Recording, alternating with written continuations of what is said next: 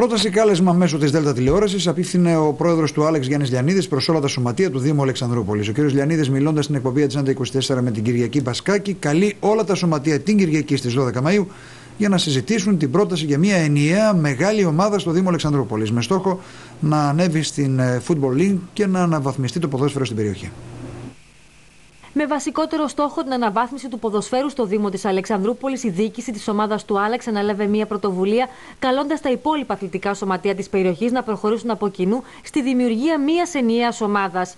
Το νέο αθλητικό τοπίο, έτσι όπως έχει διαμορφωθεί, τα μειωμένα έσοδα, τα πολλά έξοδα και το γεγονός ότι πολλοί αθλητές δεν έχουν την ευκαιρία να αναδειχθούν και να πάνε σε άλλες μεγάλες ομάδες, είναι οι πιο σημαντικοί λόγοι αυτής της προσπάθειας. Μια προσπάθεια που μπορεί να πάρει σάρκα και οστά, όσο δύσκολη και αν φαίνεται. Μια ομάδα μιας ομάδα, αλλά αυτή όταν λέμε μιας ομάδας δεν είναι μια καινούργια ομάδα.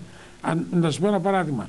Θα πάρουμε, ας πούμε, το Άλεξ και θα κάνουμε γύρω από το Άλεξ μια ομάδα. Ε, ε θα κάνουμε τις μεταγραφές μας, θα κάνουμε τα μέλη μας κλπ. Και από εκεί και πέρα το, θα, την, ξέρω, θα γίνει η ομάδα Άλεξ, ε, Αλεξανδρούπολη, ε, Αλεξανδρούπολη, Μάντσεστερ, ξέρω εγώ κάπως έτσι ένα όνομα. Ένα όνομα. Ένωση Αλεξανδρούπολης. Κάπως έτσι. United. Αλλά, United.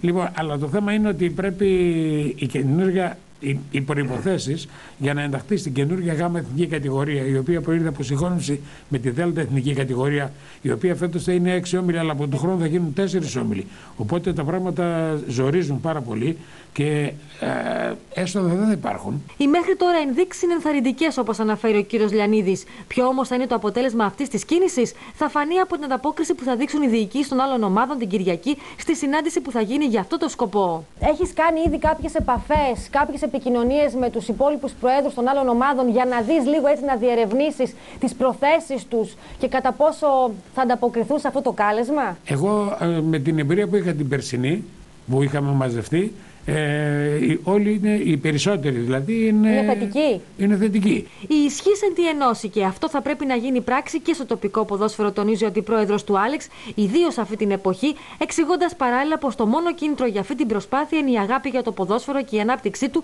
όπως συμβαίνει και σε άλλες περιοχές της χώρας. Μάλιστα, υπάρχει και σχετική σελίδα στο Facebook με την ονομασία Μια μεγάλη ομάδα στην Αλεξανδρούπολη. Οι χρήστες του ίντερνετ θα μπορούν να την επισκέπτονται και να λένε τη γνώμη τους. Δεν έχουμε παραδειγματιστεί δυστυχώς από τις ε, πόλεις που είναι δίπλα μας, από την Κομωτινή, από την ε, Ξάνθη, την Καβάλα, από τη Δράμα. Ε, ποδοσφαιρικά μπροστά σε αυτούς είμαστε υποανάπτυκτοι και ο πιο σοβαρός λόγος είναι αυτός.